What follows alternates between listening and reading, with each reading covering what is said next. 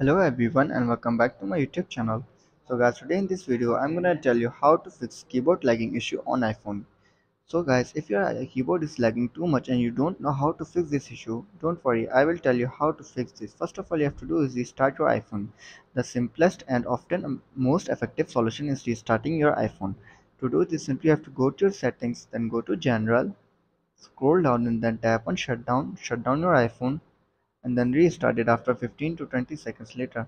Restarting your iPhone, then you have to check for any iOS update. Tap on software update and check if there is any available update for your iPhone. If there is, then simply update your iPhone to the latest version of iOS. After this, then you have to do is the uh, reduce motion and transpar transparency. Some visual effect in iOS can slow down the system, leading to keyboard lag. You can improve performance by disabling these effects.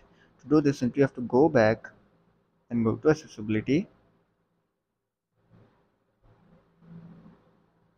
tap on motion. You can see your option reduce motion. If it's disabled then simply enable it. Now return to accessibility. Now tap on display and text size.